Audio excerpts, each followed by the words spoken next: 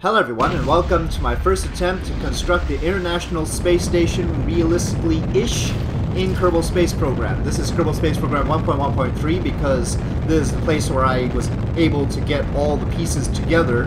There are a lot of mods involved, of course, and uh, some of them have not been updated in a while, like the actual Community ISS mod. So I had to do some tweaking to things, and that has taken quite a long time. Here we see the Proton rocket, Proton K specifically, launching the Zarya module, and they're a proper hot start to the second stage and separation of the first stage. So this was launched in 1998, November 20th, and actually I've got Kerbal Alarm Clock and we actually time warped to the right date. Um, not that it particularly matters, but um, we, we were on the correct date. Just, just taking credit for that.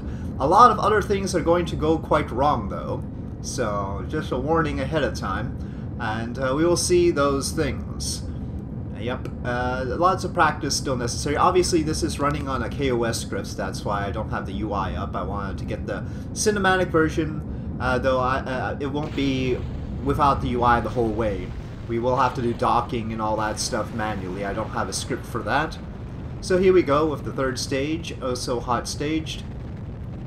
And yeah, the total mass of Zarya is 19.3 tons. It's actually a little bit heavier here. I think I, uh, some part or another is a little bit too heavy. Um, only a tiny bit, it's like 0.05 tons. But the net result is that we're right at the limit of pr what Proton can do. And we'll probably be at the limit again with Zvezda. And so basically by the time Proton gets this to orbit, it has no delta V left. Well, I think we might be able to see exactly how much delta V it has. There you go, uh, 31 meters per second left. So yeah, not much. Um, okay, so this was a problem. I actually had to resize the Zarya module because it was too big, but uh, it was actually clipping into the Proton. But even after resizing it, it still had this issue with catching on the thing. I think it had to do with the bottom node. Not sure. Anyway, the old time warp trick worked to free it from the third stage.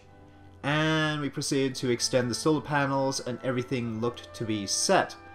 So this is the easy part, getting Zarya up. Um, next is the space shuttle. So this is the space shuttle Endeavour on STS-88 and this is carrying the Unity module with PMA-1 and PMA-2. PMA stands for Pressurized Mating Adapter, and they adapted between the common berthing mechanisms, which are on the American modules themselves, and the APAS system, which was used by previously by Apollo Soyuz, and then was updated a bit for Buran and uh, was used on Mir, and was ultimately used on the space shuttle. The space shuttle docking port was an APAS system. So uh, those docking ports are the ones that the shuttle can dock on. The APAS system is androgynous, but the Russian modules, they have a probe and drogue system, which you might have seen on the Soyuz in progress. They have the probe on them, and the station itself has the drogue ports. Here the shuttle is getting close to the SRB separation point. And actually, for most of the missions to the ISS, the shuttle actually had a lighter external tank than I have here. This is somewhere between the lightweight and super lightweight tank.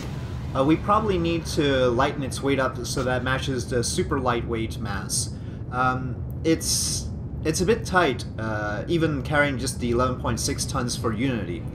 And one reason it's tight is because I didn't quite trust Canadarm. Uh, our Canadarm looks good, but it functions a little bit wobbly, especially when carrying something like the Unity module. It is pretty heavy after all. Well, I mean, in space it doesn't have weight, but the mass produces momentum and everything, so...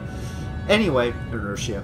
So, yeah, I decided to add a little bit of a tug, and so we have a tug in the bay that's based on a tug that was supposed to be used for Skylab, um, it's called the Teleoperator Retrieval System. This was recommended by Raider Nick as a possibility. The teleop Teleoperator Retrieval System, TRS, was supposed to be launched by the shuttle and then grab onto Skylab and boost Skylab back up. Of course, that didn't happen. Skylab deorbited before the shuttle was ready to fly, so that mission never happened.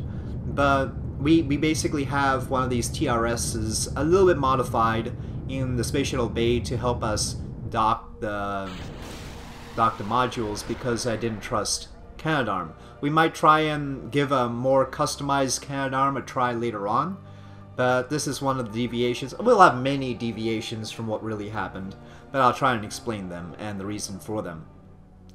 So, and some of them will just be outright mistakes. So the shuttle is carrying more than it should right now, and that's leading to really tight delta V margins. Normally I would like to reserve 400 meters per second to bring the shuttle back, and we're not looking like we can get that. So I try to have uh, Zarya do some of the maneuvering to rendezvous, and here you see it's got a closest approach distance of about one kilometer, and still 61 meters per second left, but as it tries to help with the velocity matching, it's depleting a lot of its fuel. This was all done during live streams, by the way, and so the music you might notice is a bit choppy, and that's because that's the music that was on while I was doing the stuff, and it's not music that was added after the fact. So yeah. But still, hopefully atmospheric. Uh, Skyrim music, Oblivion music, and um, I think some Stellaris music was what I used. Okay, so here we go. You can see the TRS uh, tug there, and it just uses hydrazine, and it's pulling the. I, I really should maybe change it. We, we might upgrade the tug. The the original tug was supposed to use hydrazine, um, but I might reconsider and give it the same fuel as the shuttle and that will simplify a lot of things and it'll also make it lighter so here we go uh, tugging over to Zarya but this is a tough docking first of all the TRS wasn't supposed to dock stuff it was just supposed to boost or deorbit things it would really help with the whole uh, cleaning up stuff uh, in orbit well if if it had a grapple that could grapple on to anything like the claw for instance but because it's on the tail and it's so light compared to the Unity module, it's very hard to maneuver the Unity module at all. And um, yeah, there's there's no RCS port on the Unity module, so that's the problem. The ability to translate the module is very difficult, so you really have to line it up just right, and um, you have very little opportunity. You can rotate. Rotating is easy in fact, every every translation attempt causes a rotation. But actually translating it in any direction except for forward is very hard. So you see here me tentatively trying to get this right. I also wanted to get the rotation right, which was another complication. Uh, it's definitely not looking proper, does it? we may have to pull it off and redock it. That's gonna be interesting. That's gonna be interesting. And uh, we'll we'll find out why close to the end. From this direction, it doesn't look too bad. It sort of depends on how you're looking at it. Looks uh, that you can see by the common berthing mechanisms. That's the big docking ports. It looks a bit askew.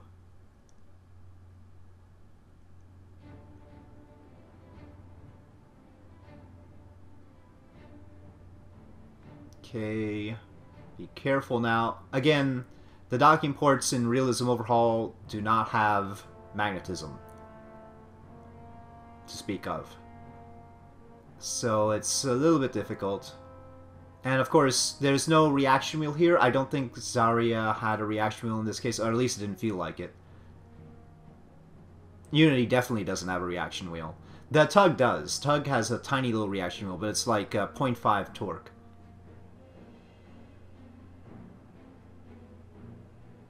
and connection.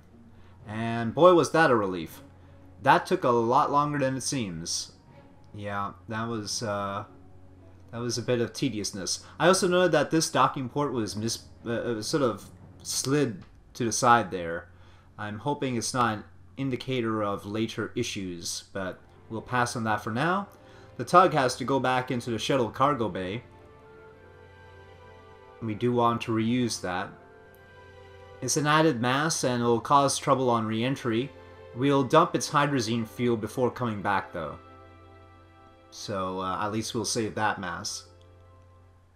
Now with more balanced RCS, since we're not tugging the Unity module, it's much easier to maneuver our little TRS system.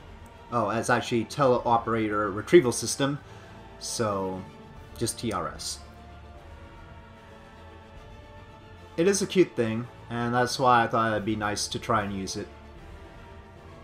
And at least it worked. But I should give Canadarm another try and try to get a different robotic arm if it doesn't work. Still, even though the tug is nimble, you have to be careful about these things. You don't want to cause a mishap. And there we go. There was a little bit of magnetism there. I saw a little bit of magnetism. Okay, so now to bring the shuttle back. Uh, here we've done our retro burn, and we've only got 183 meters per second left. Uh, the thing is, it seems to need a lot more RCS to hold the 40 degree pitch up orientation than the shuttle strictly should. Now, during actual shuttle missions, they were very careful about where the center mass was and making sure to shift the center mass to the right location for reentry. Um, they had lead ballast and I always wonder exactly how much lead ballast was actually carried by the shuttle up in order to make sure its center of mass was alright. But I don't know. You can see here that KOS is controlling the vehicle, and that's a good thing because when I'm trying to re-enter, I tend to overcorrect. Like, if I think it's um, it's falling short, I'll try and make it go long, you know, pitch down to try and add more lift. But I tend to overdo that and it'll it'll turn out that we're going to see that because here I'm trying to empty out the excess supplies, if you will, to get some more Delta V. And in the process, unfortunately, ship manifest gets stuck making that noise, and I go back to Space Center in order to get rid of the noise for the sake of my audience. And the KOS script is no longer running. And it can't really pick up in the middle. I need to write in some way for it to do that it can't do that right now. So I have to control it, uh, with the help of Smart ASS eventually. I found out that we're way far north, so not only did we have that problem, but we also had a timing issue. I probably should have gotten into a different standby orbit before trying to bring it back down uh, to make sure that we would be lined up with Cape Canaveral. Here we are clearly not lined up with Cape Canaveral at this point.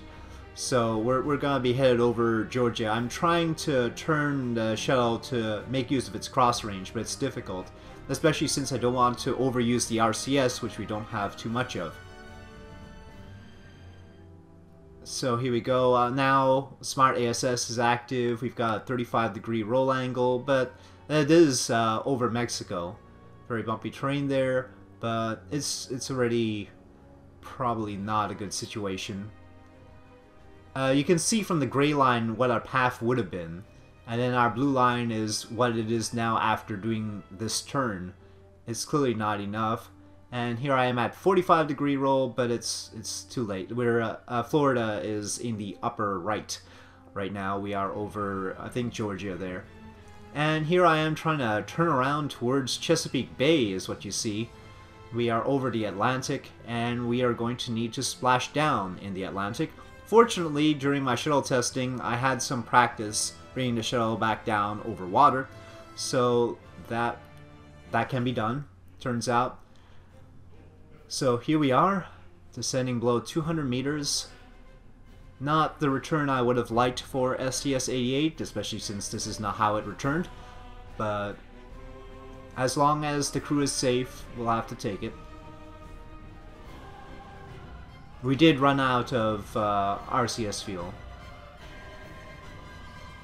So that has to be managed a little bit better as well. I think having the initial launch put us into a somewhat higher orbit than it is right now, it's keeping our periapsis low um, for the external... Maybe having the apoapsis higher would be better. It also didn't do a very good job on the inclination. That was probably more due to the timing of the launch. We were a little bit too late launching the shuttle uh, to uh, make the rendezvous. We should have launched a little bit earlier, and that would have reduced how much um, inclination difference there was. This station isn't currently at 51.6 degrees, which is where it should be. It's actually at 50, and that was due to where Zarya ended up. It's also a little bit lower than the real ISS is. Uh, the real ISS is at 400 by 400-ish. Uh, this is lower currently. Anyway, we proceed with the Zvezda launch, which is the third module. And of course, this was launched by Proton. Once again, uh, right at the edge of Proton's capacity. 19 tons here. It's a little bit lighter than Zarya, it turns out. It, it's physically larger, I think. But anyway, nice view of uh, Proton. A somewhat scenic sort of uh, time of day to launch. Clouds as well. Now, the Zarya module launched on November 20th, 1998, and then Unity launched on December 4th, 1998, which was two weeks after, so pretty quick. And then Zvezda, though, Zvezda took a while. There was a huge delay, and Zvezda only launched on July 12th, 2000. So that was a year and seven months, or eight months after Unity. So quite a long time there. And that probably had something to do with the numbering system for the shuttle being a bit off when it came to uh, Endeavour, the Unity module mission was STS-88, and then the next shuttle mission to add something to the station was STS-92. But in between, there were uh, uh, three-digit shuttle missions, and uh, I guess it was because the Z1 Truss was delayed due to uh, Zvezda not being delivered yet. Yeah, the shuttle missions were always all over the place as far as their numbering anyway. So here we are. Zvezda making rendezvous, but it doesn't have all that much fuel, you'll note, uh, to make all these um, rendezvous burns. And we really can't use the station anymore. It's got less than 1 meter per second, really. It's got enough to turn around. That's about all it can do. So here we go, and you can see down to 5 meters per second here and Zvezda just isn't able to to close the gap. We're within one kilometer, but here I'm turning the station. It's not a reaction wheel, it's just a really slow RCS burn. Uh, well, a single RCS burn to try and turn towards it, but it's not going to do any good. So I decided to do an emergency mission using a Progress. So we're going to use the Progress, here launched on a Soyuz rocket. Uh, use Progress to tug the Zvezda module into the rest of the station. And this obviously was never done, but if they had this problem with Zvezda, I imagine that this is probably a good solution. Now I'm using an older uh, progress this time. Uh, this is uh, before this is uh, progress as it was up to 1990, which means it didn't have solar panels. It had internal electric charge and I think fuel cells, um, but it didn't have solar panels, so it looked different from what you're used to. I uh, in in the lore of this situation, we'll assume that they uh, uh, decided to use uh, progress that was in storage from an earlier model. So there's an earlier model progress. There's a Raider Nick model. Later on, we'll be using the proper progresses with the solar panels and everything.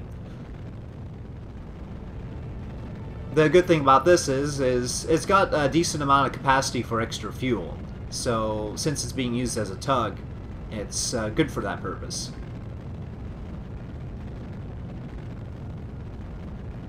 Okay, here we are, getting to orbit with it. Uh, still some inclination difference, but at least within one degree. Okay, there we go. Orbit. And awaiting decoupling.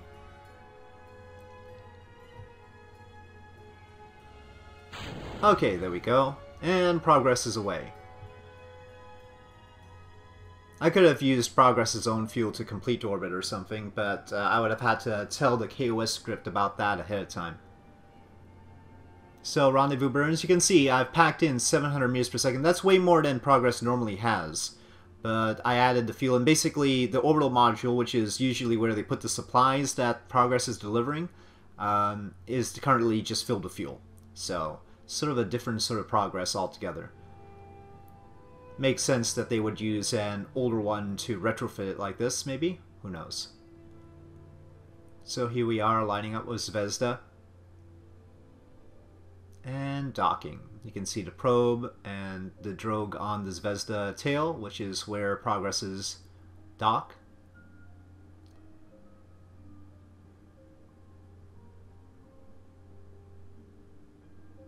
Okay, a little bit of magnetism there. Um, didn't really catch. There we go. Okay, so now with the Zvezda module, it has less delta V, but still enough.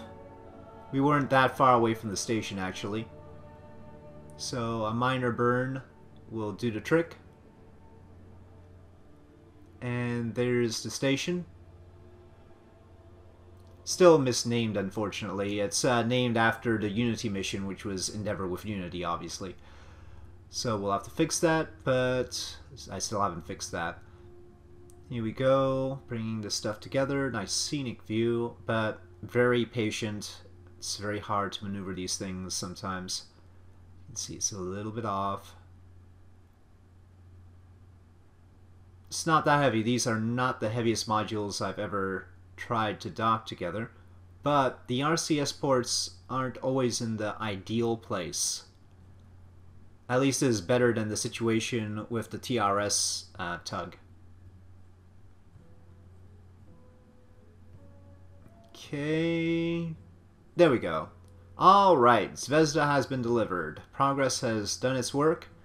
Uh, emergency progress mission the first actual progress mission to the space station happened a month after Zvezda docked to the space station. So Zvezda docked on July 12th, and the first progress arrived on August 6th. Uh, so actually, uh, between the docking of Unity on STS-88 and the docking of Zvezda, there were three shuttle missions that arrived at the space station but didn't deliver any new modules. Uh, that was STS-96, STS-101 and STS-106. So they were all missions to fix things up without delivering anything new. Here we see Progress coming back, and Progress does not separate the way Soyuz does. It, it uh, descends intact, so there are no decouplers between the modules. Um, and however, I still need to turn down the heat tolerance, it looks like. I didn't add heat tolerance to this. It doesn't have a blader, it probably shouldn't be able to descend through the atmosphere like that without dying. So I'll probably have to fix that. Anyway, on with the delivery of the Z1 Truss and PMA-3 to the space station. This is STS-92, Discovery launching on October 11th, 2000. This carrying 7 crew, and so I put 7 Kerbals, though I don't have the Kerbals named appropriately for the crew we decided to try out an in-cockpit view for launch since KOS is in charge anyway, though we did uh, get very close sights of eyeballs from the Kerbals. That's interesting. I do wonder about their eyes and whether one eye gets in the way of the view of the other eye ever. They have big eyes. Anyway, just getting the panel set on raster prop monitor. You can see the horizon there. It is an interesting ride, and uh, the cockpit is not 100% clickable, but it is at least the multifunction displays are clickable.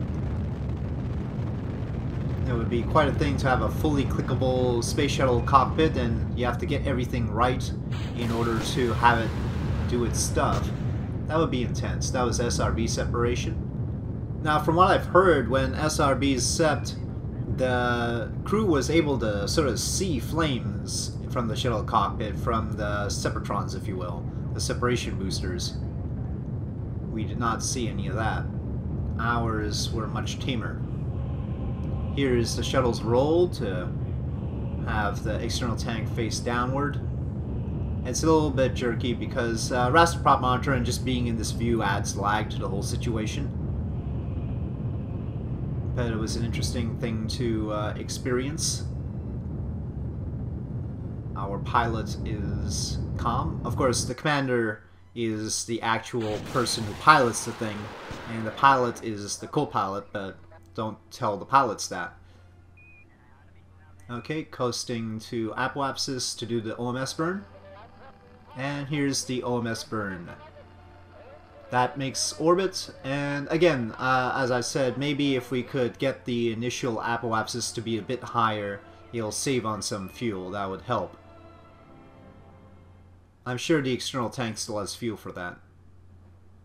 Okay, here we are approaching the station. And I decided that we were really tight on fuel. You can see we're down to 231, and I'd like to reserve 400 now. That's 400 without the cargo in the bay.